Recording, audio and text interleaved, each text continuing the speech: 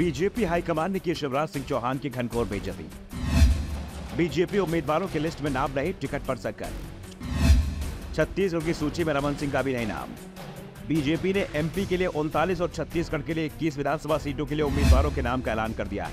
लेकिन इस लिस्ट को लेकर कई सवाल उठने लगे हैं। बीजेपी की लिस्ट से कांग्रेस पर भी दबाव बढ़ गया है, क्योंकि कांग्रेस की ओर से लगातार दावा किया जा रहा था कि उसकी पहली सूची जल्दी आ जाएगी, जबकि बीजेपी की सूची के ऐलान के बाद ही आ पाएगी। लेकिन बीजेपी ने बाजी मारते हुए पहले ही उम्मीदवारों के नाम का ऐलान करना शुरू कर दिया है। ऐसे में इस बात के संकेत है कि एक सप्ताह के अंदर कांग्रेस के उम्मीदवारों की सूची भी सामने आ सकती है। लेकिन बीजेपी की जो सूची सामने आई है उसने कांग्रेस के साथ बीजेपी को भी हैरान कर दिया है।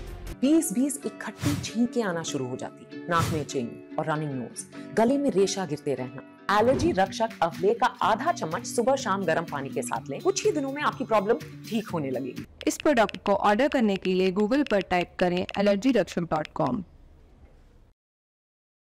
या कॉल करें eight four zero zero five zero zero five eight nine पर। दरअसल जब भी बीजेपी या कांग्रेस उम्मीदवारों की सूची जारी करती थी और खास तौर पर उस राज्य में, जिसमें उसकी सरकार है, और तो वहाँ लिस्ट में पहला नाम राज्य के सीएम का होता था। लेकिन मध्य प्रदेश के लिए बीजेपी ने उनतालीस उम्मीदवारों की जो लिस्ट जारी की है, उसमें शिवम शिवराज सिंह का नाम ही नहीं है। इसके बाद ये सवाल पूछा जा रहा है क्या शिवराज को पार्टी टिकट नहीं दे रही है? वैसे बीजेपी की ओर से कहा जा रहा है कि पहली सूची में उन सीटों पर उम्मीदवारों के नाम का ऐलान किया गया है, जहाँ पार्टी कमज़ोर है और 2018 के विधानसभा चुनाव में हार गई थी। ये तय माना जा रहा है कि मध्य प्रदेश में नवंबर के आखिरी में विधानसभा चुनाव के लिए मतदान होगा। ऐसे में उम्मीदवार के पास अब चुनाव प्रचार के लिए तीन महीने से भी ज़्यादा का वक्त होगा। और वो आसानी से पूरे क्षेत्र का भ्रमण कर सकेगा। लेकिन कमज़ोर सीट पर उम्मीदवारों का पहले ऐलान कर सीएम के टिकट की घोषणा न करने से अब कांग्रेस को भी शिवराज पर हमला करने का मौका मिल गया है। साफ़ है, पार्टी ये ज़रूर पूछेगी कि क्या शिवराज का टिकट कट गया है। वैसे शिवराज की टिकट पर बीजेपी ने अभी उम्मीदवार घोषित नहीं किया है। ऐसे में संभावना इसी बात की है कि शिवराज को उनकी परंपरागत सीट बुधनी से टिकट मिल जाएगा।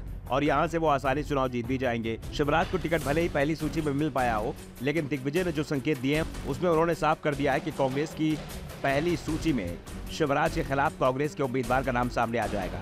वैसे झटका बीजेपी ने सिर्फ़ शिवराज सिंह चौहान को ही नहीं दिया है, बल्कि छत्तीसगढ़ के बीजेपी के वरिष्ठ नेता और 15 साल तक लगातार बीजेपी की ओर से सीएम रहने का रिकॉर्ड बनाने वाले रमन सिंह का नाम भी उम्मीदवारों की लिस्ट में नहीं है। और रमन सिंह के टिकट को लेकर तो यहाँ तक दावे हो रहे हैं कि शायद इस बार पार्टी उन्हें विधानसभा चुनाव लड़ाए ही ना। क्योंकि पिछले पाँच साल से बीजेपी ने रमन को कोई बहुत बड़ी ज़िम्मेदारी नहीं सौंपी है। 2018 में बीजेपी को सबसे करारी हार छत्तीसगढ़ में ही मिली थी और पार्टी ने हार के लिए रमन सिंह को ही जिम्मेदार माना। 2018 में बीजेपी सिर्फ़ छत्तीसगढ़ ही नहीं हारी थी, बल्कि मध्य प्रदेश और राजस्थान भी हार गई थी। लेकिन यहाँ की हार संतोषजनक थी। मध्य प्रदेश में तो मुकाबला बेहद करीबी रहा था। यहाँ तक कि वोट शेयर के मामले में तो कांग्रेस पर बीजेपी भारी ही पड़ी थी। सिर्फ़ सीटों के मामले में पाँच सीटें पीछे रह गई थी और इसी के चलते कांग्रेस ने सरकार बना ली थी।